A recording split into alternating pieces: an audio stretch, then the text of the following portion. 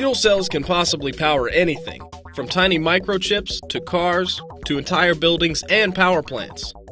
Getting the juice they produce is a complex process.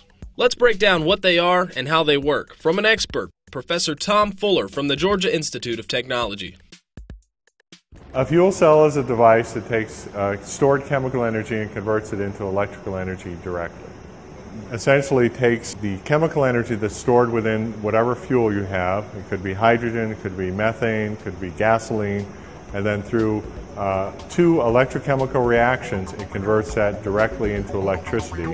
The major components of the fuel cell are the electrolyte, which is also a, a, separator, so it keeps the reactants from mixing together. The next pieces are the electrodes, and these are catalysts where the electrochemical reactions occur. And then beyond that, there's uh, typically a bipolar plate, or again, sometimes called a separator, but this is a way to collect the current and also build the voltage from the cells.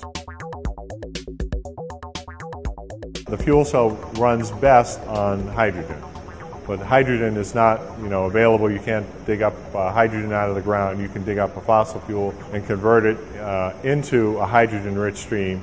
Uh, but to do that in a fuel cell, you need to reform it and then clean up the, uh, the gases quite a bit before you can put it in a fuel cell.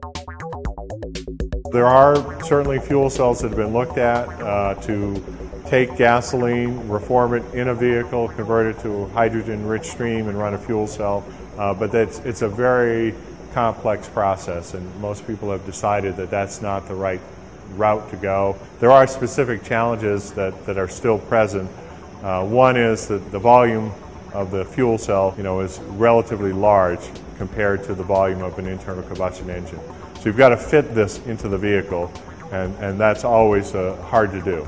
So you've got to really work hard to either get the technology better to make the fuel cell smaller or just package it into the vehicle.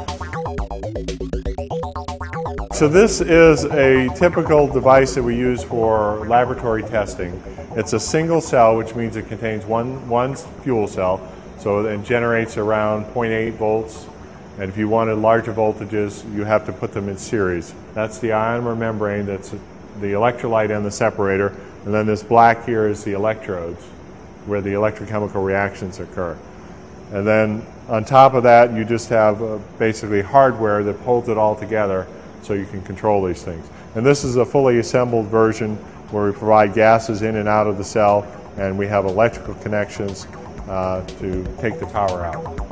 I think the, the, you know the, the major drawbacks to fuel cells is, is their cost compared to competitors. They're providing things you're already getting today, so they have to do it either more efficiently or at a lower cost. And so far, they really haven't been able to crack that nut to get to, to cost that's competitive with other devices.